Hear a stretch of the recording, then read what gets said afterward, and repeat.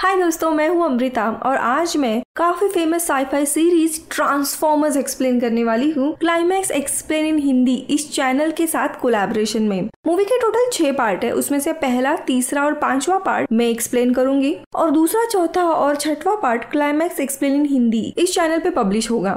आज मैं मूवी का फ़र्स्ट पार्ट और second part climax explain in Hindi publish करने वाले हैं, जिसकी लिंक मैंने डिस्क्रिप्शन बॉक्स और पिन कमेंट में ऑलरेडी दी हुई है। उसे ज़रूर देखिए। और ऐसे ही साईफाई एक्सप्लेनेशन के लिए आप हॉलीवुड एक्सप्लेन इन हिंदी और क्लाइमैक्स एक्सप्लेन इन हिंदी इस चैनल को सब्सक्राइब करना ना भूलें। सो so, ट्रांसफॉर्मर्स की कहानी शुरू होती है आज से हज़ारों साल पहले प्लैनेट साइबरट्रॉन में। साइबरट्रॉन ये ट्रांसफॉर्मर्स का प्लैनेट था। ट्रांसफॉर्मर्स ये दरअसल एक रोबोटिक ऑर्गेनिज्म है। उनमें इंसानों की तरह ही फीलिंग्स रहती है डीएनए रहते हैं। दिखने के लिए वो रोबोटिक होते हैं। लेकिन एडवांस डीएनए के कारण वो अपना फ़िज़िकल अपियरेंस कोई भी इलेक्ट्रॉनिक या लोहे की चीज़ में बदल सकते हैं। इनके प्लैनेट और इनकी दुनिया की शुरुआत ऑल स्पार्क नाम के एनर्जी क्यूब से हुई थी। ऑल स्पार्क इसी क्यूब ने ट्रांसफॉर्मर को भी जन्म दिया था। और देखते ही देखते उनकी सोसाइटी फॉर्म हुई, जो एक दूसरे के साथ शांति से रहते थे। इन ट्रांसफॉर्मर को ऑप्टिमस प्राइम लीड कर रहे थे। ऑल स्पार्क इस क्यूब में इतनी ज़्यादा शक्ति होती है और वो शक्ति पाने के लिए मेगाट्रॉन नाम के ट्रांसफॉर्मर ने उसके साथ बगावत की और ऑप्टिमस और मेगाट्रॉन के बीच में काफ़ी घमासान लड़ाई हुई। इस लड़ाई के कारण सारे ट्रांसफॉर्मर दो हिस्सों में बट गए।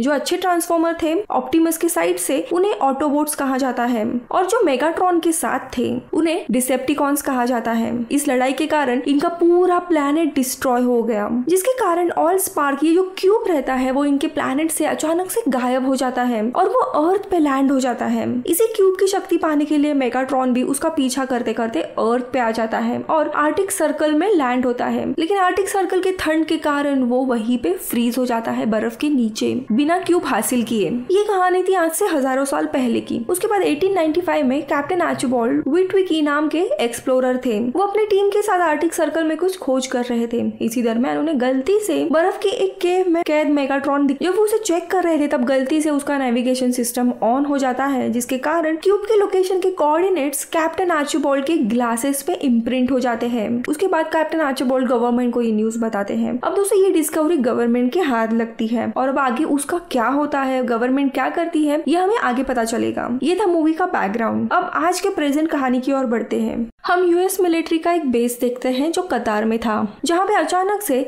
डिसेप्टिकॉन्स यानी मेगाट्रॉन के आर्मी का एक रोबोट जिसका नाम ब्लैकआउट था, वो इस बेस पे हमला करता है। पूरे बेस में हल्ला मच जाता है, उनके सारे सिग्नल ब्लॉक कर दिए जाते हैं, और वो अंधाधुन लोगों के ऊपर फायरिंग करने लगता है। आर्मी के लोग खुद का बचाव नहीं कर पाते। उसी बीच में ब्लैकआउट ये रोबोट यूएस के काफ़ी सारे क्लासिफाइड फाइल्स ढूँढने लगता है। मानो वो कोई इन्फॉर्मेशन ढूंढ रहा था, लेकिन उसके हाथ ज़्यादा कुछ इन्फॉर्मेशन मिलती नहीं है। इस अटैक में कुछ सर्वाइवर आर्मी वहाँ से भाग जाती है, जिसमें कैप्टन विलियम भी थे। अब यहाँ पे यूएस में हम अगले दिन मूवी के प्रोटैगनिस्ट सैम को देखते हैं, जो एक ऑकवर्ड टीनेजर था। उसे एक कार लेनी थी, इसीलिए उसके पिता एक सेकेंड हैंड कार खरीद के देते हैं, जो कि काफ़ी पुरानी येलो कलर की थी, लेकिन उसके ऊपर रेसिंग स्ट्रैप्स थे, इसीलिए सैम को वो पसंद आती है। सैम को स्कूल की एक लड़की जिसका नाम मिकेला था, वो काफ़ी पसंद थी। अब उसे इम्प्रेस करने के लिए वो एक पार्टी में अनइनवाइटेड जाता है, लेकिन उस पार्टी से उसे निकाल दिया जाता है। उसी दरम्यान मिकेला भी इस पार्टी में होती है, जो कि निकल जाती है। वो अपने बॉयफ्रेंड पे गुस्सा रहती है। तो सैम यही मौका देखता है और उसे लिफ्ट देता है। लेकिन कार अचानक से बंद हो जाती है। लेकिन मिकेला को कार के बारे में काफ़ी अच्छे से पता होता है, इसलिए वो रिपेयर करने के लिए जाती है। अब इनके इस छोटी से डेट के बाद वो उसे रात में घर छोड़ देता है। दोस्तों सैम ये कैप्टन आर्चोबॉल्ड विटविकी इनका परपोता था। कैप्टन विटविकी ने ही मेगाट्रॉन की सबसे पहले खोज की थी। और अभी पैसे कमाने के लिए सैम उनकी काफ़ी कीमती चीज़ें ईबे पे बेच रहा था। जैसे कि उनका चश्मा, जिसपे क्यूब्स के कोऑर्डिनेट्स थे। हालाँकि वो इन सारे बातों से अनजान था।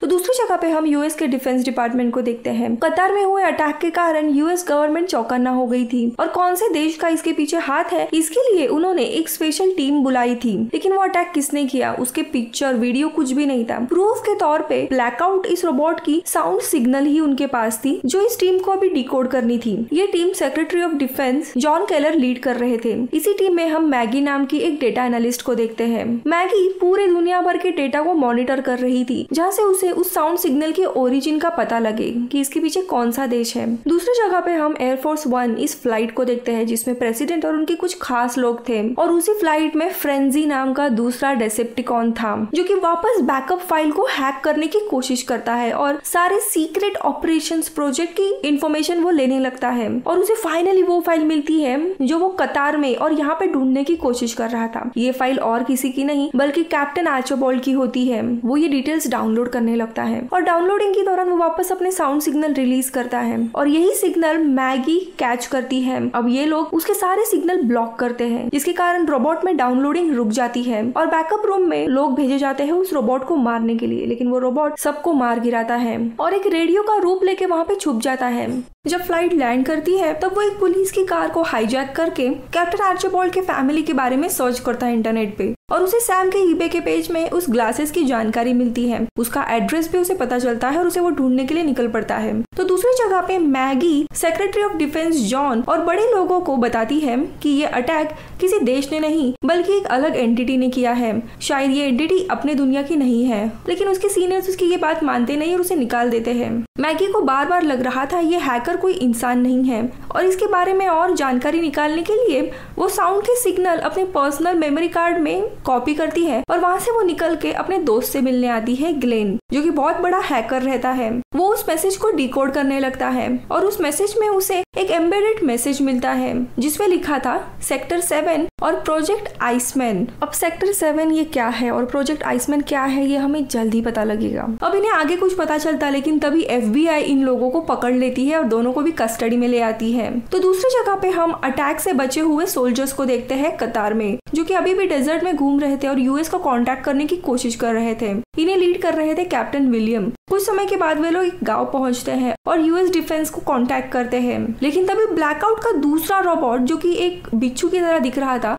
वो उन पे अटैक करता है और देखते ही देखते सारे गाँव को वो तबाह कर देता है। लेकिन तब तक यूएस डिफेंस सेक्रेटरी से कांटेक्ट हुआ था और वे लोग इनकी लोकेशन ट्रैक करते हैं और उस रोबोट पे मिसाइल लॉन्च करते हैं। अब आते हैं सैम की तरफ़। एक रात को सैम नोटिस करता है कि उसकी कार अचानक से बिना ड्राइवर की चालू हो जाती है, जहाँ पे वो देखते ही देखते एक ट्रांसफॉर्मर में बदल जाती है और आसमान में एक सिग्नल भेजती है। अब ये देखने के बाद वो अपने कार से डरने लगता है। पुलिस को सारी चीज़ें बता देता है। लेकिन पुलिस इसकी बात मानने के लिए तैयार नहीं होती। दरअसल यहाँ पे सैम की कार ऑटोबोट्स होती है, जिसका नाम बम्बल भी था। अब अगले दिन उसकी कार उसका पीछा करने लगती है। इसीलिए वो डरते हुए अपनी माँ की साइकिल लेके घर से भाग जाता है। तभी रास्ते में उसे मिखेल दिखती है। इसकी ऐसी डरी हुई हालत देख के वो भी अपने स्कूटी से उसका पीछा करने लगती है। तो सैम भागते हुए एक बड़े से गोडाउन के एरिया में आता है, जहाँ पे फाइनली उसे पुलिस की कार दिखाई देती है। वो उनसे मदद मांगने लगता है, लेकिन वो पुलिस की कार नहीं थी, बल्कि वो खुद फ्रेंजी रोबोट था और देखते देखते वो असली रूप में आ जाता है ट्रांसफॉर्मर के। और सैम को मारने लगता है। वो बच के वहाँ से भागता है तो मिखेल उसे मिलती है। फ्रेंजी दोनों को भी मारने के लिए आता है, लेकिन तभी सैम की कार आके उसे बचाती है और बाद में बम्बल भी खुद भी ट्रांसफॉर्म होकर अपने असली रूप में आता है जॉइंट रोबोट के और दोनों रोबोट में घमासान लड़ाई होती है। यहाँ पे बम्बल भी फ्रेंजी को मार गिरा के जख्मी करता है। अब फ्रेंजी जख्मी हुआ था। इसीलिए वो उस मिनी रोबोट के थ्रू खुद को मिखेल के मोबाइल में कन्वर्ट करता है और उसके बैग में जा छुपता है।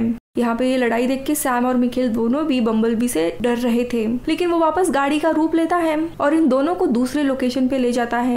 यहाँ पे दूसरी तरफ़ हम देखते हैं अर्थ के और बहुत बड़े मेट्रॉइड गिर रहे थे और वो सारे सैम के एरिया के आसपास ही आ गिरते हैं। दरअसल ये कोई मेट्रॉइड नहीं, बल्कि खुद ट्रांसफॉर्मर थे। एक लोकेशन पे रियूनाइट होते हैं और बम्बल भी सैम और मिखेल को लेके वहीं पे आता है।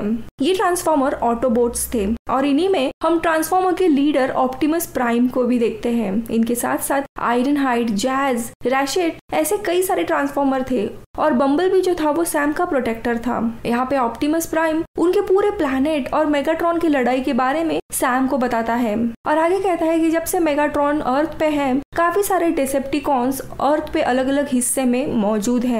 जो कि ऑल स्पार्क यानी उस क्यूब और मेगाट्रॉन को ढूंढ रहे हैं। अगर मेगाट्रॉन जग गया तो वो अर्थ की मशीनरीज को ज़िंदा करके एक आर्मी खड़ा करेगा और इंसानों को वो मार डालेगा। ये सब कुछ वो उस क्यूब की मदद से करेगा। इसीलिए हमें उस क्यूब को ढूंढना है और डिस्ट्रॉय करना है।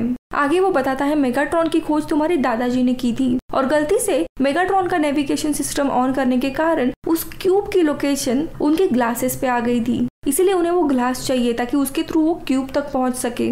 ये जाने पर सैम इन सारे ट्रांसफॉर्मर को अपने घर लेके आता है व्हीकल फॉर्म में। लेकिन घर पहुँचने के बाद ये सारे ट्रांसफॉर्मर अपने असली रूप में आते हैं, जिसके कारण उसे काफ़ी प्रॉब्लम होने लगता है। कैसे तैसे वो अपने दादाजी के ग्लासेस तो ढूंढ लेता है, लेकिन वहाँ पे एक अलग ही इशू आता है। वहाँ पे सेक्टर सेवन इस डिपार्टमेंट के लोग आके उन्हें कस्टडी में लेते हैं और इनको एलियंस, यानी ट्रांसफॉर्मर्स के बारे में पूछने लगते हैं। अब दोस्तों, सेक्टर सेवन, ये top secret paramilitary government branch होती है। मूवी के स्टार्टिंग में ही मैंने बताया था कैप्टन आर्चोबॉल्ड इंडिया ने सैम के पर दादाजी ये सारी इन्फॉर्मेशन गवर्नमेंट को बता देते हैं मेगाट्रॉन के बारे में। इंसानों के लिए मेगाट्रॉन जैसे जॉइंट रोबोट बहुत ही बड़ी चीज़ थी। इसीलिए ये सीक्रेट डिपार्टमेंट उसके ऊपर स्टडी करने लगता है। ये प्रोजेक्ट काफ़ी सीक्रेट रखा जाता है ताकि धरती के बाकी देश इसमें इंटरफेयर ना करें। इसी प्रोजेक्ट को प्रोजेक्ट आइसमैन भी कहा जाता था। अब इनको कस्टडी से लेके जा रहे थे, तभी ये लोग ट्रांसफॉर्मर्स के बारे में कुछ भी नहीं बताते। लेकिन तभी सारे ऑटोबोट सब लोग आते हैं और सैम की मदद करते हैं और उन एजेंट्स को रोकते हैं। लेकिन दोस्तों, तभी तक सेक्टर सेवन के बाकी एजेंट ने बैकअप बुलाया था। जो कि सैम मिकेल और बम्बल को अपने कस्टडी में लेके जाते हैं और ऑटोबॉट्स उन्हें रोक नहीं पाते। क्योंकि इंसानों को रोकने के लिए उनके साथ लड़ाई करनी पड़ेगी और ऑटोबॉट्स इंसानों को कभी भी हार्म करना नहीं चाहते थे। लेकिन ऑप्टोमस को सैम के दादाजी के ग्लासेस मिल जाते हैं, जिसे वो क्यूब को ढूँढने का फैसला करते हैं। अब अर्थ में इतने सारे एलियंस और ट्रांसफॉर्मर का हमला हो रहा है, इसीलिए सेक्टर सेवन के एजेंट्स बाकी लोगों की मदद लेने के लिए जाते हैं। जैसे कि वो लोग सबसे पहले सेक्रेटरी ऑफ़ डिफेंस के ऑफ़िस में जाते हैं और उनके हेड जॉन को बताते हैं कि ये जो हमले हो रहे हैं, उसमें कोई देश इन्वॉल्व नहीं है, बल्कि ये ट्रांसफॉर्मर ने किया है, जो कि दूसरे प्लेनेट के लोग हैं। इन्होंने जब मार्स पे अपना रोवर छोड़ा था कुछ सालों पहले तो वहाँ पे भी ट्रांसफॉर्मर की इमेज कैप्चर हुई थी। अब ये जानने के बाद फाइनली डिफेंस सेक्रेटरी को मैगी के बातों पे विश्वास हो जाता है कि कोई ये और एंटिटी है। इसीलिए वो मैगी और उसके दोस्त ग्लेन को रिलीज़ करते हैं। फिर उसके बाद इन तीनों को भी सेक्टर सेवन के मेन सीक्रेट ऑफ़िस में लाया जाता है। तो दूसरी जगह सैम मिखेल और बम्बल भी इनको भी सेक्टर सेवन की ही उस मेन लोकेशन पे लाया जाता है। और तीसरी जो आर्मी के सर्वाइवर्स थे, जो अभी भी कतार में थे, उन्होंने भी डेसेप्टिकॉन्स को देखा था। इसीलिए उनको भी सेक्टर सेवन के सीक्रेट ऑफ़िस में लाया जाता है, जो कि हुअर डैम के यहाँ पे था। तो दूसरी जगह पे ऑटोबॉट्स उन ग्लासेस को स्कैन करते हैं। और उन्हें पता लगता है कि क्यूब का लोकेशन यहाँ से 230 माइल्स के रेडियस में है और वो लोग उस क्यूब को लेने के लिए निकल पड़ते हैं। अब यहाँ पे सारी टीम सेक्टर सेवन के मेन ऑफ़िस में आई थी और यहाँ पे हमें सेक्टर सेवन के बारे में पता लगता है। वो लोग सबसे पहले टॉम उनके डायरेक्टर को मिलते हैं और वहाँ पे इन सबको मेगाट्रॉन दिखाया जाता है, जो कि इन्होंने इतने सालों से उसी फ्रोजन कंडीशन में उसे रखा था। वो बताते हैं कि इसकी खोज सैम के दादाजी ने की थी। टॉम उन्हें बताता है, धरती पे जितने भी इन्वेंशन है मोबाइल से लेके स्पेसशिप वो मेगाट्रॉन को स्टडी करते हुए ही उन्होंने बनाए हैं। उन्हें पता था कि वो एडवांस एलियन है और उसके पीछे उसके लोग भी रहेंगे। लेकिन अब अचानक से उन लोगों ने धरती पे अटैक करना शुरू किया था। इसीलिए सेक्टर सेवन इन सारे लोगों की भी मदद ले रहा है। फिर सैम उन्हें ट्रांसफॉर्मर की प्लानट और उनके हकीकत के बारे में बताता है। आगे वो ये भी बताता है कि मेगाट्रॉन अब इंसानों को तबाह करना चाहता है। इसीलिए वो क्यूब मिलना बहुत ही ज़रूरी है। फिर टॉम और एक सरप्राइजिंग चीज़ बताता है। ऑल स्पार्क नाम का वो जो क्यूब है वो दरअसल सेक्टर सेवन के लोगों के पास ही था। वो बताता है कि ये क्यूब 10,000 बीसी पे धरती पे आया था। उसकी एनर्जी रेडिएशन इतना ज़्यादा था कि उसे छुपाने के लिए ही उसके सराउंडिंग में बड़ा सा कंक्रीट और ये हुअर डैम बांधा गया था ताकि कोई भी एलियन उसे ढूंढ ना पाए। इस क्यूब में बहुत ही पावर थी। वो ग्लेन का फ़ोन लेते हैं और ऑल स्पार की पावर यूज़ करके उस फ़ोन को एक ट्रांसफॉर्मर में बदल देते हैं, जो कि काफ़ी वायलेंट बन जाता है और बॉक्स को मारने लगता है। इसीलिए उस टाइनी रोबोट को ये लोग डिस्ट्रॉय कर देते हैं। यानी कि इस क्यूब में जितनी पावर थी, उसे इंसान भी हैंडल नहीं कर सकते थे। अब इसी डिस्कशन के दौरान फ्रेंजी जो कि मिखेल का मोबाइल बना था, वो भी इनके ऑफ़िस में आ जाता है। उसे एक जगह पे मेगाट्रॉन और दूसरी जगह पे वो क्यूब मिल जाता है। और वो सबसे पहले दुनिया भर में जितने भी डेसेप्टिकॉन्स है, उनको सिग्नल भेजता है अटैक करने के लिए। और ये लोकेशन भेजता है। और यहाँ धरती पे अलग अलग व्हीकल जो डेसिप्टिकॉन्स थे, वो अपने असली रूप में आते हैं। और देखते ही देखते थोड़ी देर के बाद वो डैम पे आके हमला करने लगते हैं। इसी में ब्लैकआउट बेरिकेड बोन क्रशर ऐसे कई सारे डेसिप्टिकॉन्स होते हैं। फ्रेंजी इनके कंप्यूटर को हैक करके मेगाट्रॉन को अनफ्रीज करने लगता है, जिससे वो धीरे धीरे होश में आने लगता है। ये देख के इनके ऑफ़िस में हल्ला मच जाता है।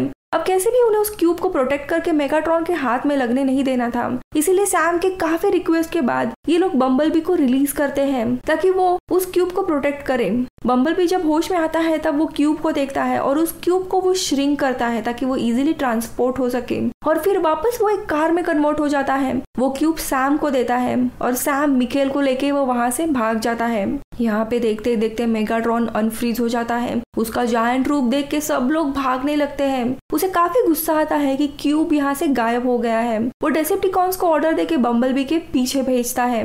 अब यहाँ बम्बल के पीछे भी डेसेप्टिकॉन्स लगे थे। तभी वहाँ उसे रास्ते में ऑटोबोट्स भी मिल जाते हैं और सब लोग रीयूनाइट होते हैं और इनकी लड़ाई शुरू होती है। देखते ही देखते ये लड़ाई पूरे शहर में आ जाती है, जहाँ पे ऑप्टिमस की लड़ाई बोन क्रैशर से होती है। यहाँ पे आर्मी के बाकी के लोग डेसिप्टिकॉन्स को मारने की कोशिश कर रहे थे। मेगाट्रॉन सैम के पीछे पड़ा हुआ था वो क्यूब लेने के लिए। ऑप्टिमस आके सैम को बचाता है और उन दोनों में काफ़ी लड़ाई शुरू हो जाती है। इस लड़ाई में ऑप्टिमस भी कमज़ोर पड़ने लगता है। और तभी ऑप्टिमस सैम को कहता है कि, अगर मैं लड़ाई में हारने लगा तो वो क्यूब मेरे चेस्ट में इंसर्ट करना। क्यूब की शक्ति से मैं खुद को सैक्रिफाइस करके मेगाट्रॉन को डिस्ट्रॉय कर दूँगा। लेकिन जब ऑप्टिमस इस लड़ाई में हारने लगता है, तब सैम ऑप्टिमस के बजाय वो क्यूब खुद मेगाट्रॉन के चेस्ट में ही इंसर्ट करने लगता है, जिसके कारण उसकी सारी पावर मेगाट्रॉन को डिस्ट्रॉय करने लगती है। और देखते ही देखते मेगाट्रॉन मारा जाता है और थोड़ी देर के बाद ये लड़ाई खत्म हो जाती है। बाकी के डिसेप्टिकॉन्स को आर्मी और ऑटोबोट्स ने मार दिया था। इस लड़ाई में सैम के कारण ही वो क्यूब और ऑटोबोट्स जीत गए थे। इसलिए ऑप्टिमस सैम और आर्मी के लोगों को थैंक यू कहता है। अब मूवी के आखिरी में बम्बल भी सैम की कार बन के ही अर्थ पे रहने का फैसला करता है। ऑप्टिमस मेगाट्रॉन के शरीर से क्यूब का जो आखिरी पीस रहता है, वो उसे ले लेते हैं। और फिर गवर्नमेंट मेगाट्रॉन और बाकी के डिसेप्टिकॉन्स के शरीर को समुन्द्र के गहराइयों में डाल देते हैं। सेक्टर सेवन इस प्रोजेक्ट को क्लोज कर दिया जाता है और आखिरी में सारे ऑटोबॉट्स वापस सीक्रेटली अपने अपने व्हीकल बन के रह जाते हैं अर्थ पे, क्योंकि उनका प्लेनेट वैसे ही डिस्ट्रॉय हो गया था। सैम और मिकेला उनका एक रोमांटिक रिलेशन शुरू हो जाता है और मूवी इधर ही खत्म हो जाती है। मैं जल्द ही पार्ट थ्री रिलीज़ करूँगी। अगर आपको ये वीडियो पसंद आए तो प्लीज़ इसे लाइक कीजिए। मैं मिलूँगी आपसे अगले वीडियो में। तब तक के लिए बाय